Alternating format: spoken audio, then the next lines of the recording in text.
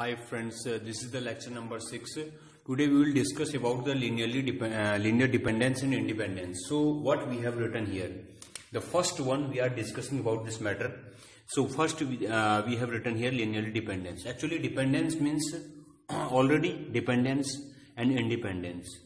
Okay, dependent means you know that here we have written x is equal to lambda y. Here lambda is belong to R and y is the variable and x is also variable if we will put any value here if we will put any value here then we will get uh, suppose I am just taking uh, any value uh, 2 okay that that is fixed then the the value of x it will be different. If I will put, uh, put any other value then after then the value of x it will be again different.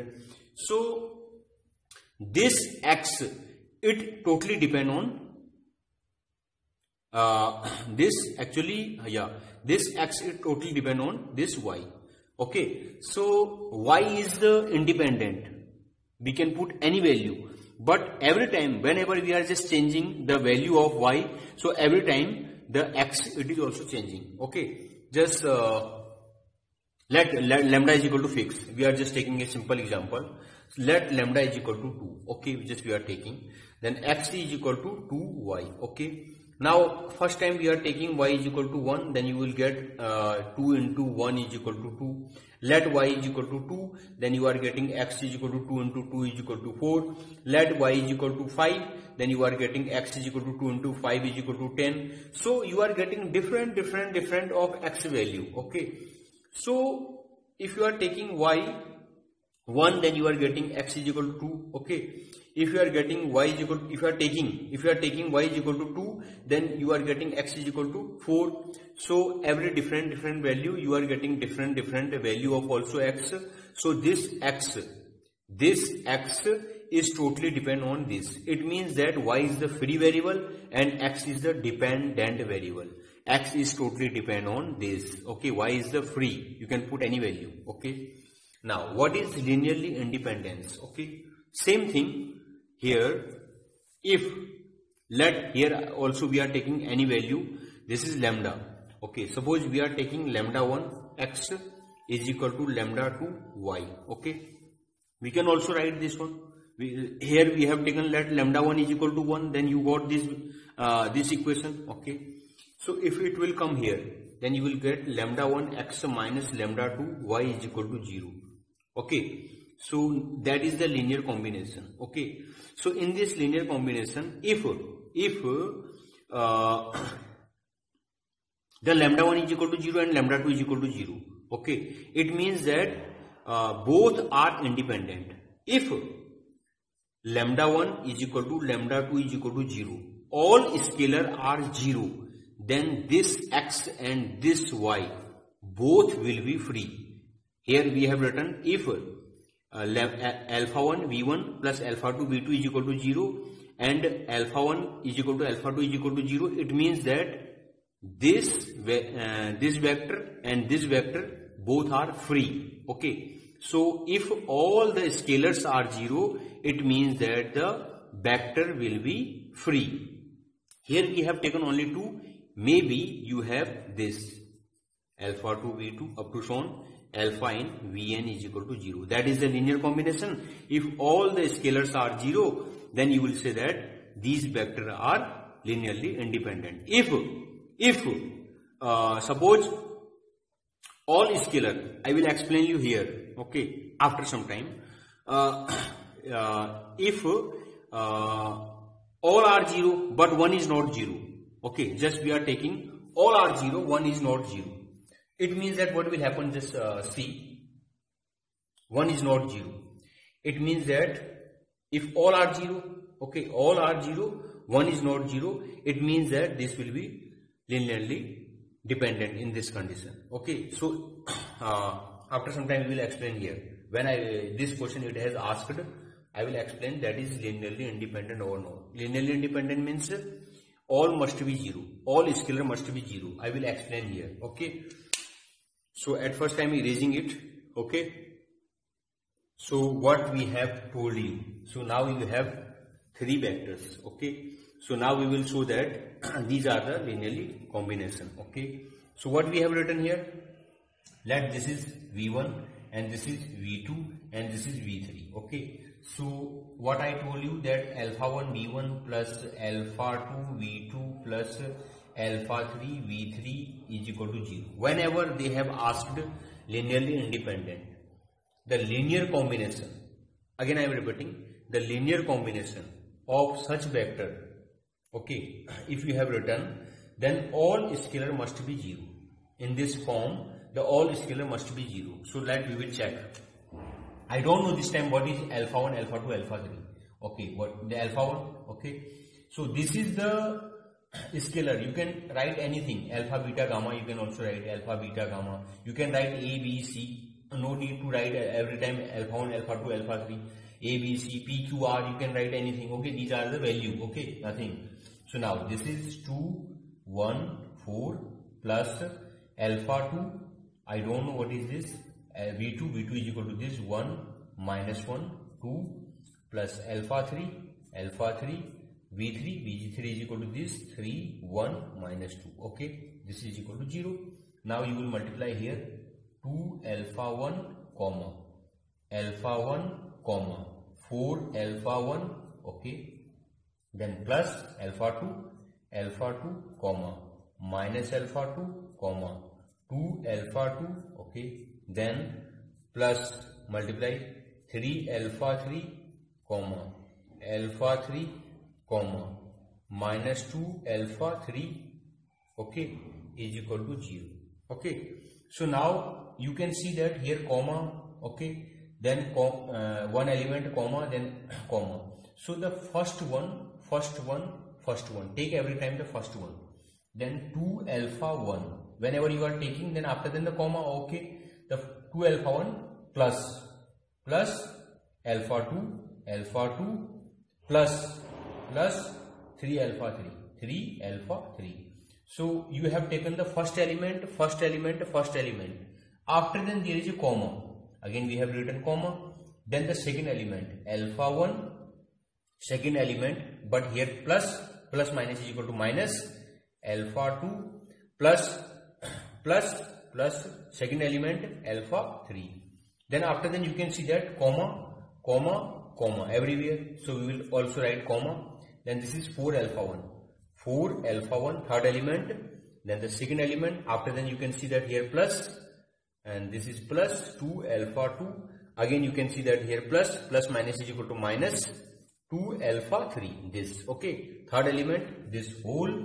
Here 0 we can also write 0 0 0 okay. So now we will compare compare c o m p a r e after then you can see that 2 alpha 1 plus alpha 2 plus 3 alpha 3 is equal to 0 okay? Then second alpha 1 minus alpha 2 plus alpha 3 is equal to 0 then this value. 4 alpha 1 plus 2 alpha 2 minus 2 alpha 3 2 alpha 3 is equal to 0 is equal to 0 now we have three equations solve the three equations then after then you will get something. Okay? So you can see also that if you will multiply this into 2 then what will get? 4 alpha 1 plus 2 alpha 2 plus 3 to the 6 alpha 3 is equal to 0 now we are taking here this one 4 alpha 1 plus 2 alpha 2 minus 2 alpha 3 is equal to 0 now subtract minus minus plus then 0 this cut cut then you are getting 4 plus 2 is equal to 6 now 6 plus 2 is equal to 8 sorry. 6 plus minus is equal to plus. 6 plus 2 is equal to 8 alpha 3 is equal to 0 you know that 8 it will be never 0 it implies that alpha 3 is equal to 0 okay? If alpha 3 is equal to 0 now put the value here okay? Then you are getting 0 it means that alpha 1 is equal to alpha 2 alpha 1 minus alpha 2 is equal to 0 it implies that alpha 1 is equal to alpha 2 okay. If both are same now uh, this equation okay this equation you are getting 2 alpha 1 okay. Alpha 2 is equal to alpha 1 then again alpha 1 but this is 0 is equal to 0 because alpha 3 is equal to 0 it implies that 3 alpha 1 is equal to 0. You know that 3 is, will be never 0. It implies that 3 is not 0. It implies that alpha 1 is equal to 0. If alpha 1 0, it implies that alpha 2 is equal to 0. So you are getting alpha 1 is equal to alpha 2 is equal to alpha 3 is equal to 0. All 0. All 0. Okay. All scalar 0.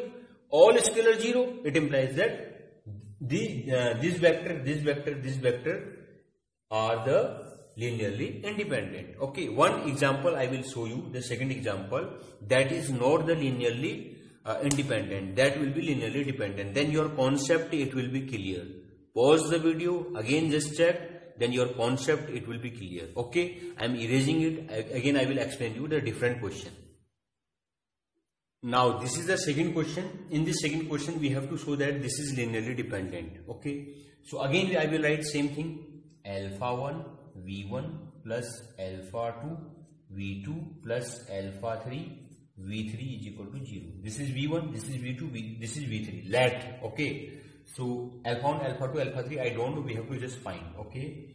So this is alpha 1 we are putting this value 1 7 5 plus alpha 2 we are putting this here minus 7 20 minus 2 then after then plus alpha 3 okay we are putting here 3 minus 2 4 is equal to 0 so it will become here again alpha 1 7 alpha 1 plus into 5 alpha 1 okay uh, we put then after then plus again minus 7 alpha 2 okay into 20 alpha 2 or minus 2 alpha 2 plus again again multiply this 3 alpha 3 comma minus 2 alpha 3 and uh, comma 4 alpha 3 okay?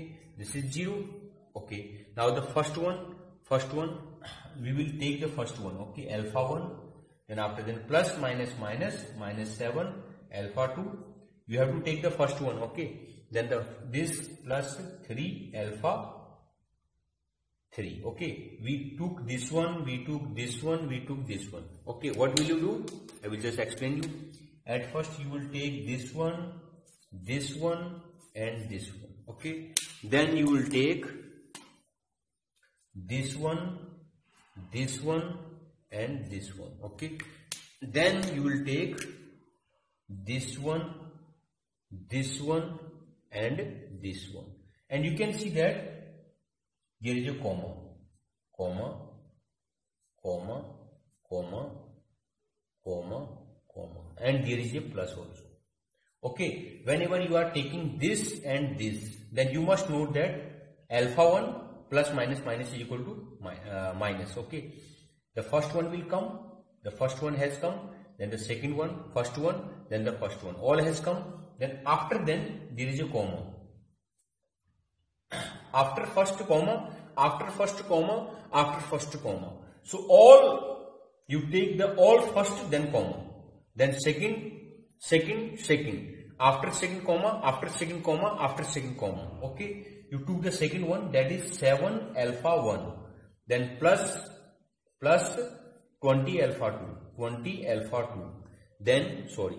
Then you got plus minus equal to minus minus 2 alpha 3 okay comma because after second comma now this one.